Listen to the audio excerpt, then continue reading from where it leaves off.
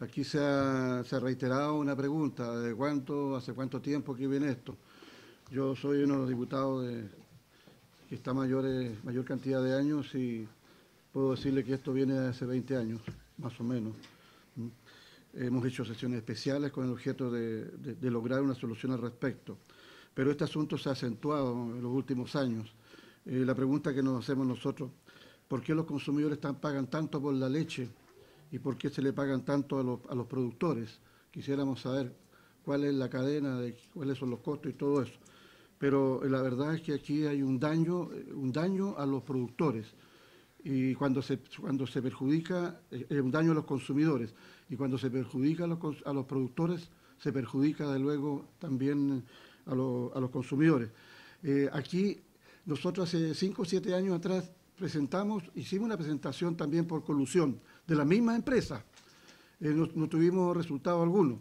Ahora se hizo nuevamente, en otras circunstancias seguramente, en otro ciclo, como, como lo dice el diputado Flores, pero este, este, es un abuso que se produce porque el Estado no puede intervenir porque por el virtud de la libre competencia. Y aquí las industrias, las industrias eh, eh, realizan una práctica muy abusiva, sobre todo en la fijación de los precios. Las industrias lecheras fijan unilateralmente, arbitrariamente los precios a los productores y los productores no tienen ningún, ningún grado de apelación ni de reclamación. Y y, y esos precios luego son bajísimos, bajísimos, 180 o 200 pesos, qué sé yo, lo que indudablemente ocasiona una gran, una gran Ahora, respecto a la calidad, se hablaba aquí de los productos que llegan a los supermercados. Aquí llega una, llega una importación directa a los supermercados. ¿Ah? ¿Alguien, eh, ¿Alguien fiscaliza la calidad de esos productos? que a veces llegan a, menor precio incluso, porque las importaciones de que se hablaba ahora son masivas. Eh, hace un tiempo también, hace 10 años atrás, 20, años atrás, también habían importaciones masivas de productos eh, lecheros. Y nosotros hicimos sesiones especiales en la Cámara, así que nosotros como parlamentarios hemos venido defendiendo esta situación. Y hoy día están, están pidiendo salvaguardia los, los, agricultores.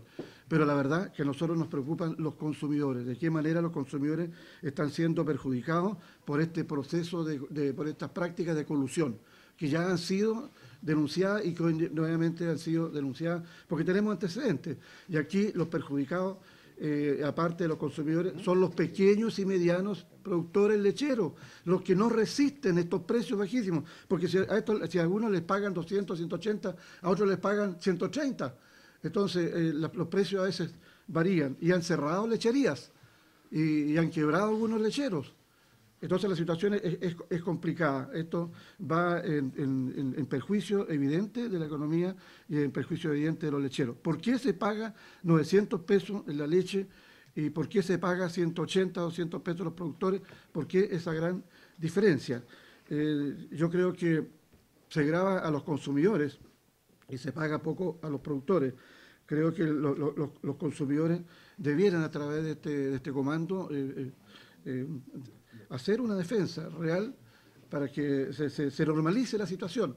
De lo contrario, vamos a seguir con lo mismo, vamos a seguir con lo mismo, no va a haber solución. No sé qué irá a responder la Fiscalía Nacional.